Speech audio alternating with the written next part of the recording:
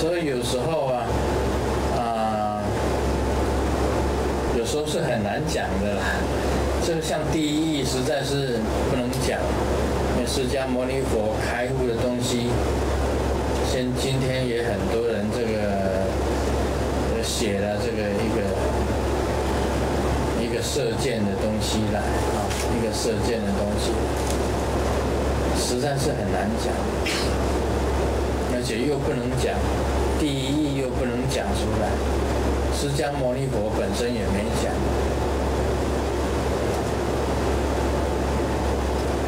所以我们很难很难去讲，很难把它说讲出来这样。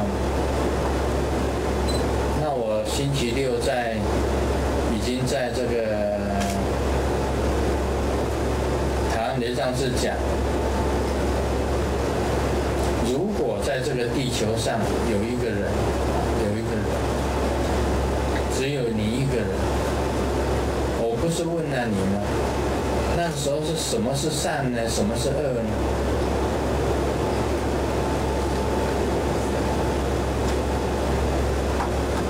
很简单呐、月球上，你知道月球？月球有人吗？好像他们上来月球也觉得月球没有人。在月球，月球上，什么是善？什么是恶？我就问你啊，在月球上根本一个人都没有，也没有生物，连生物都没有。那时候什么是善，什么是恶呢？啊？都没有。啊，都没有。呃，也没有，恶也没有。那六祖不是跟那个跟追他的那个人呢、对不对？在大更岭的时候啊，有没有？那个叫做惠什么？惠民啊、这个是当过将军的，一个军人。六祖就他问说，到最后他脑不动这个袈裟的时候啊，呃，六祖就出现了，呃，惠民问他，到底这个佛法的真谛在哪里？那六祖就讲了一句话：不思善，不思恶，就在那个时候。哎，惠民他就听懂了。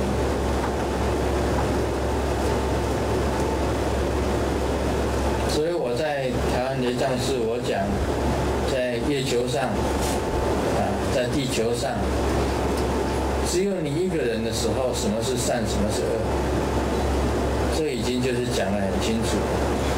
在月球上，没有人，什么是善，什么是恶？那第一义谛就在那里产生出来。这个是释迦牟尼佛证悟的，他所悟到的，我也知道这个事情，我我我已经悟到这里，我希望你们也每一个人都能够开欧玛那边面。在开示结束之后，圣尊莲生活佛为现场弟子赐授红财神灌顶以及最速劫往生摩诃双莲持法的灌顶。谢谢师尊。